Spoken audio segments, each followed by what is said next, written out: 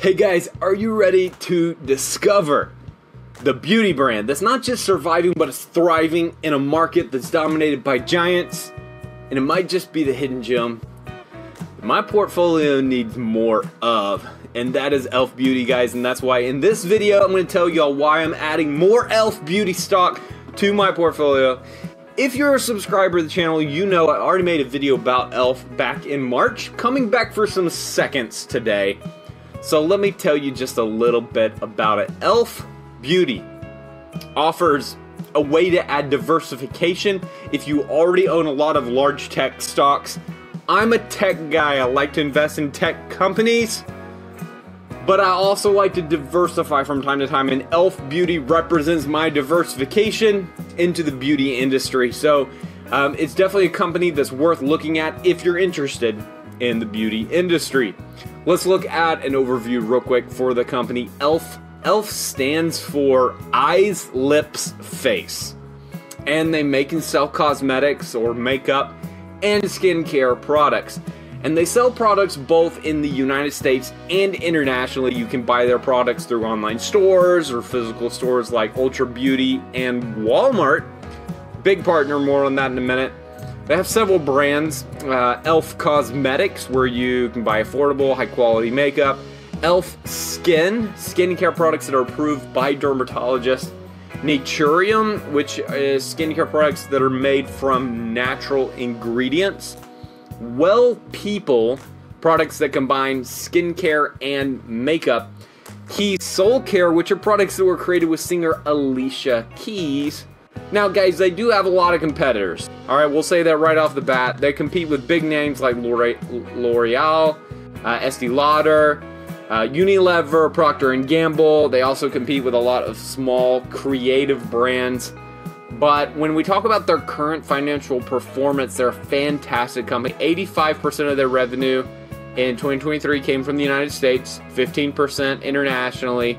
But here's their strategic focus, guys. This is the main thing. This is so important. They are, in two words, affordable beauty. Their average product price is only $6 compared to, which is way cheaper compared to the competitors.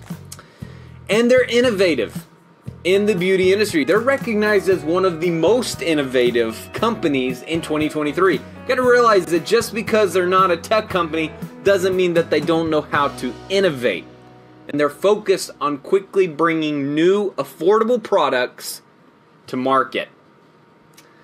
Now, when it comes to brand awareness, these guys are killer. They're connecting with customers through social media and digital channels, and their employee satisfaction rate is through the roof with a high employee engagement. They're named one of the best companies to work for in 2023 2024. And part of the secret sauce that makes Elf Beauty Elf Beauty is that they're par- they're partnering with other companies. Their collaboration with companies like Walmart. Okay, this one's crazy. They're partnering with uh, Roblox.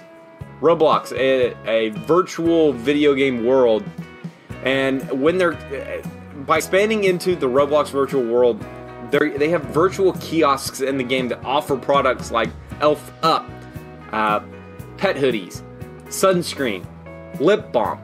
And when customers buy these products, they receive digital versions of the products in the game, which is absolutely insane to me.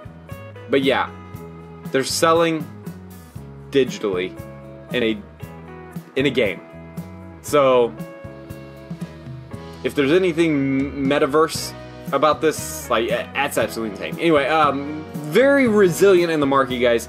Their revenue growth is through the roof. 77% increase in revenue compared to previous previous year. That's Q1. Q1 2024. They're gaining more market share both in cosmetics and in skincare.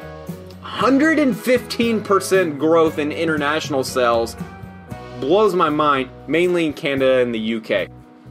And one thing that makes Elf Beauty such a great company is that uh, economic stability. Doesn't matter what the economy is doing, this company is going to be stable because people buy makeup and skincare products even in tough economic times.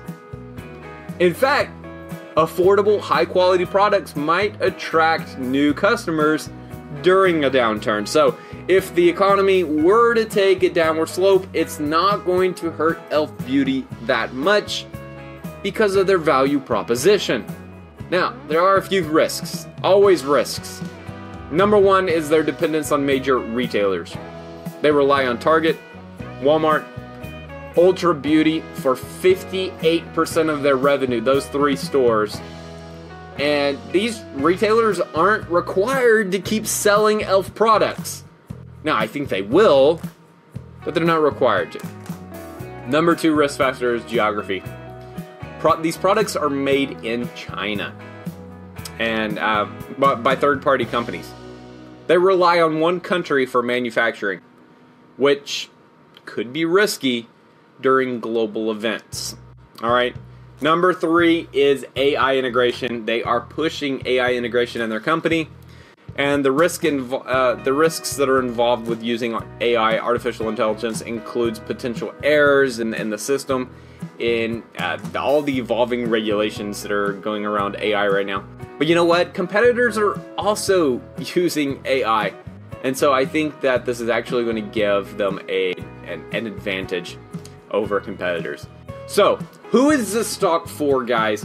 Well, if you're looking to start or add a new position Elf Beauty, that's that's great. That's for you. The, if you're looking to invest in a consumer-focused company like beauty products, this is a great buy. Long-term investors, guys. All my stocks are for long-term investors.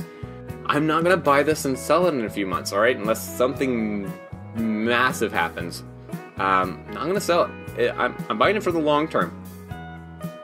And you know, if you're looking for a large company, very large company, this one may not actually be for you. I generally buy pretty big companies. Elf is one of the smaller ones for me. Their market cap is about $10 billion right now.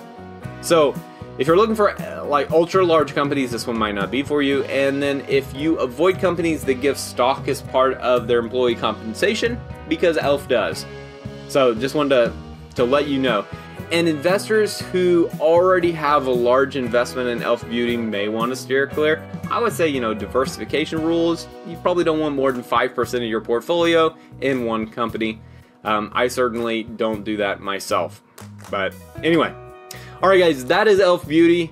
I'm to make more videos very, very soon, guys. You want to make sure you're subscribed so you don't miss any of the future videos that are coming out on this channel. More stocks that I buy, as well as other videos on just stocks that I'm looking at. Hey, uh, leave me a like. It really helps out the channel. Leave a comment down below. Tell me what you think about Elf Beauty. And I will catch y'all guys in the next video. Y'all take it easy. Peace.